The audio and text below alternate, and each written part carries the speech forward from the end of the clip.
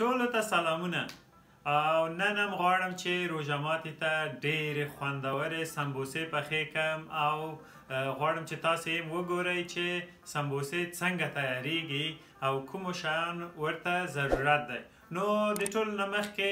اول وګورئ چې کوم مواد لازم دي د سمبوسو د تیارولو لپاره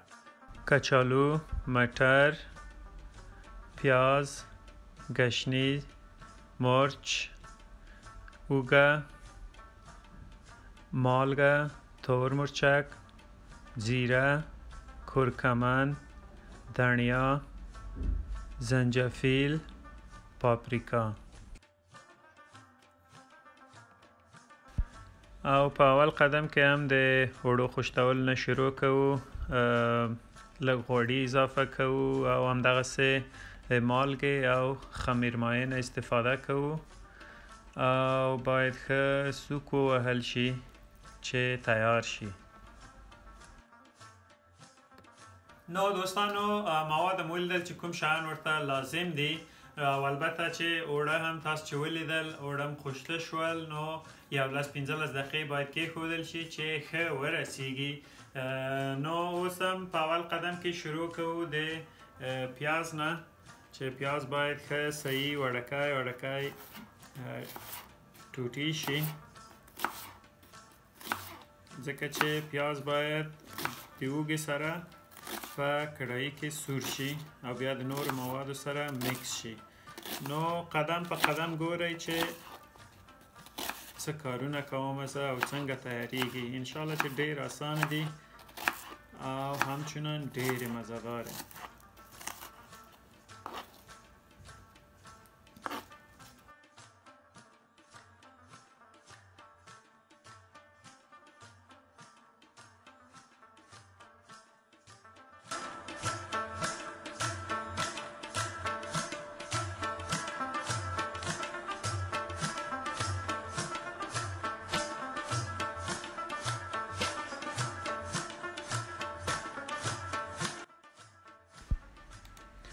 او اوس هم د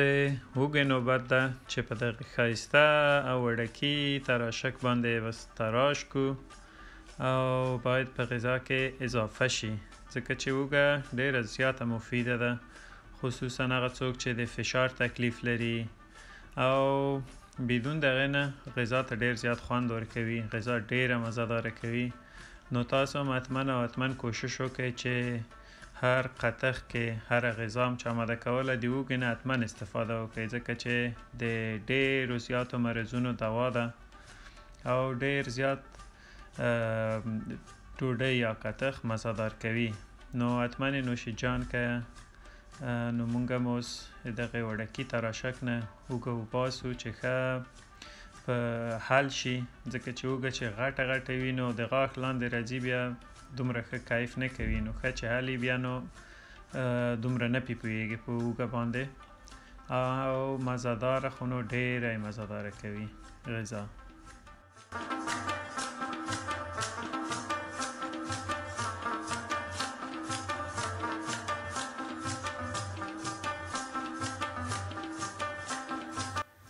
او د پیازو نه بعد هم ګشنیز وړه وړه میده کوو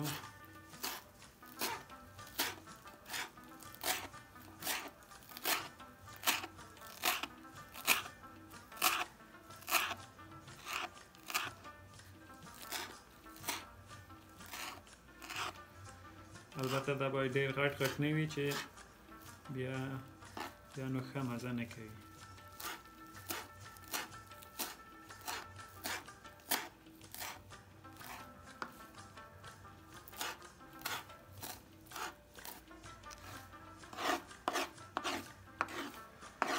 شنی زما ماده شول او سمبوسه چې البته تریخې نه وي هغه نو سمبوسې نه دي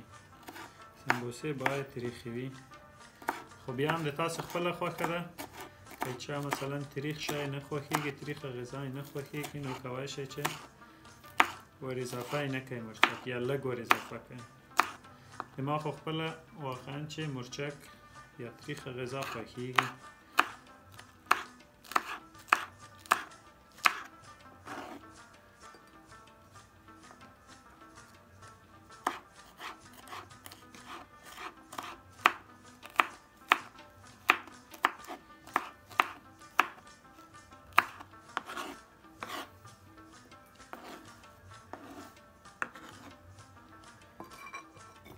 سم د د جوش او کچالې نوبت ده چې دا باید ښه میده کو البته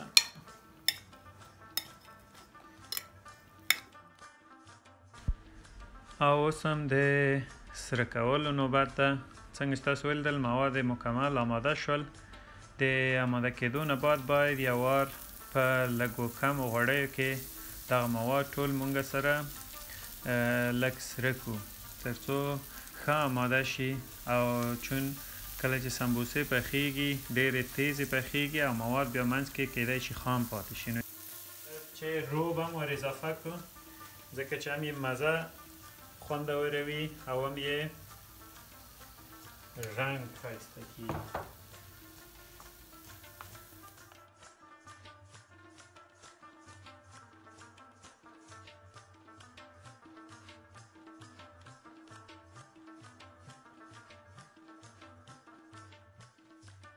او اوس هم مټر ور اضافه کوو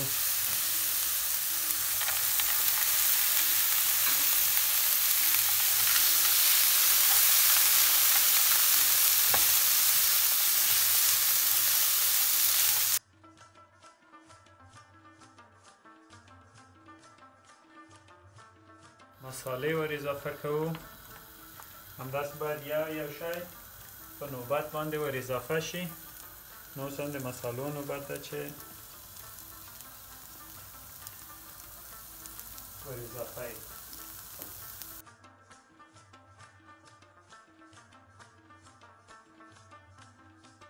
او اوس نو هم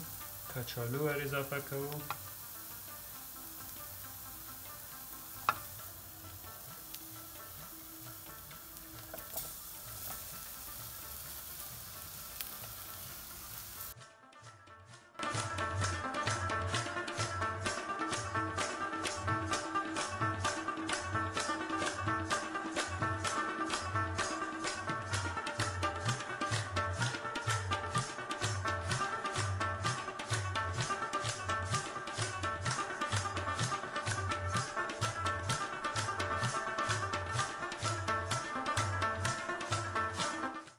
نو دوستانو څنګه چې تاسو ولیدل د سمبوسو مواد تیار شول او همچنان د فرصت نه په استفاده سره زغالې مو وشولې نو اوس فقط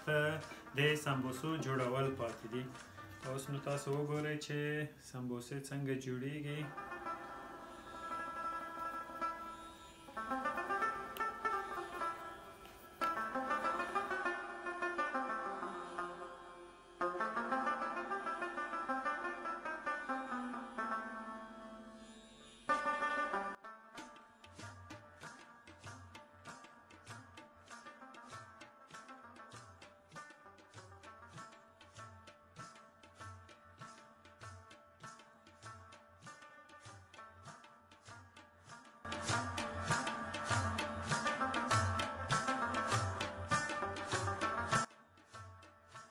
تقریبا دا دی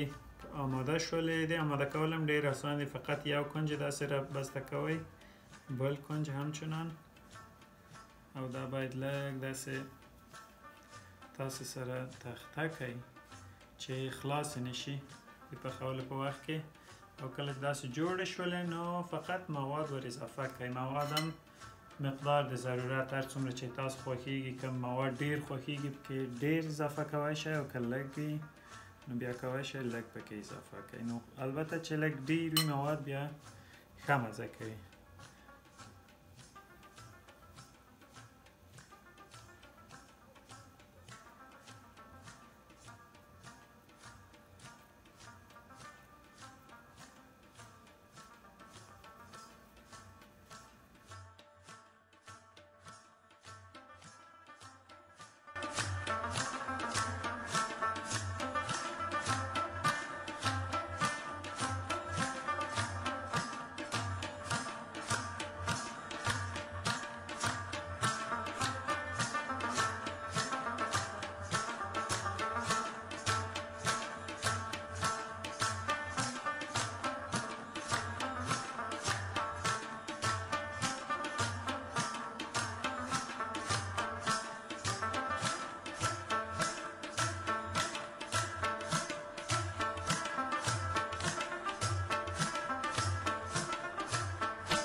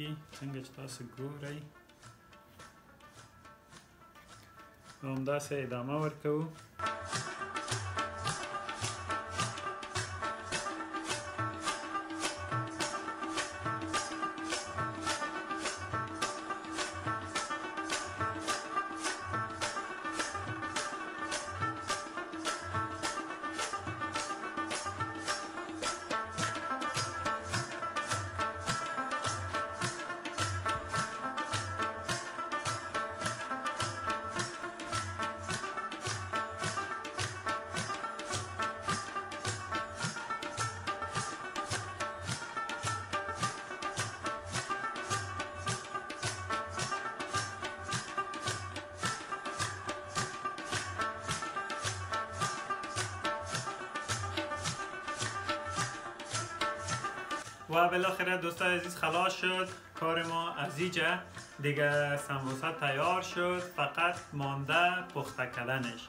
پخته کردنش مانده دیگه میریم و پخته میکنیم در قدم اول روغن اضافه میکنیم غوړي به اضافه کو دوستانو او چې ګرم راغلل غوړي بیا نو پخول شروع کیږي البته لږ غوړي ډیر غواړي ده نو منتظر کیږو چې غوړي ګرم شي نو غوړي ګرم شول اوس هم بس پخول شروع کوو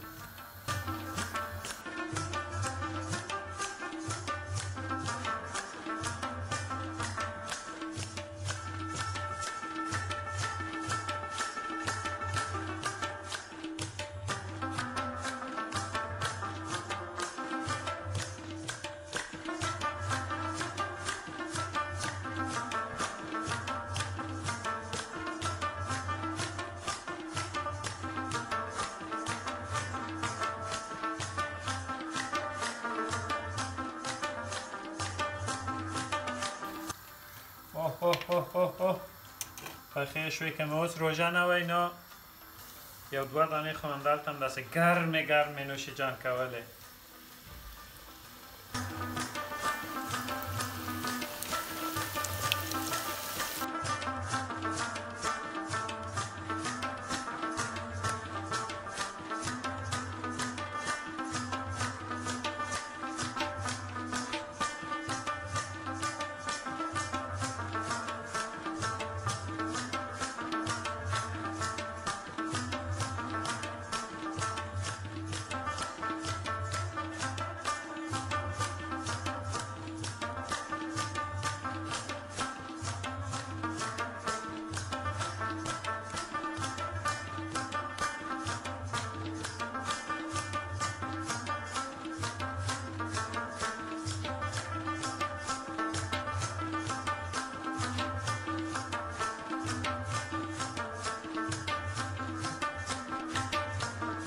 او بالاخره دوستانو چې سمبوسې تیارې شوې نو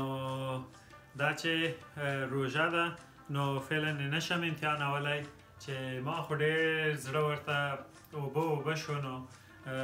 نو خدای دې وکړي چې تاسو هم دې زده کړي وي زه خو به حتما په روژه مات کې انشاءالله چې ښې ډېرې نوش جان کړم نو حتما تاسو هم د دغه ریسیپی نه استفاده وکړئ آماده یې کړئ کور کې او نوش جان یې کړئ البته چې روژه ماتې باندې ډیر زیات کیف کوي ډیر خوند لري نو ګرانو دوستانو که غواړئ چې په آینده کې هم دغسې ښې ویډیوګانې وګورئ چینل سبسکرایب کړئ لایک کړئ او شیر یې کړئ او تر څو چې بیا زه ستاسو په خدمت کې حاضرېږم تاسو په خدای تعالی سپارم خدای مو مل شه